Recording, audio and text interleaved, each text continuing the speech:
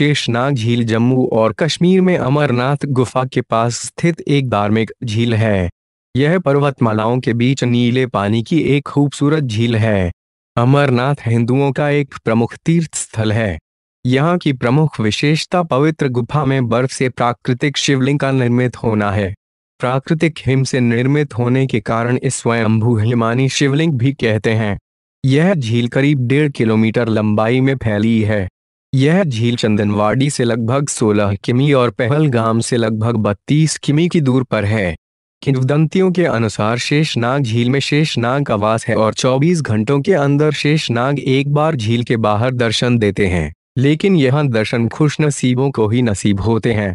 किंवदंती है कि जब शिवजी माता पार्वती को अमर कथा सुनाने अमरनाथ ले जा रहे थे तो उनका इरादा था कि इस कथा को कोई न सुने।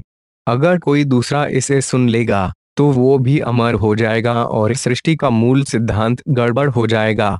सभी इसे सुनकर अमर होने लगेंगे। इसी सिलसिले में उन्होंने अपने असंख्य सांपो नागों को अनंतनाग में बैल नंदी को पहलगाम में, चंद्रमा को चंदनवाड़ी में छोड़ दिया था। लेकिन अभी भी उनके साथ शेषनाग था जिसे उन्होंने इस झील में छोड़ दिया। शंकर जी ने शेषनाग को आदेश दिया था कि इस स्थान से आगे कोई न जाने पाए। यह भी कहा जाता है कि कभी कभी झील के पानी में शेषनाग दिखाई देता है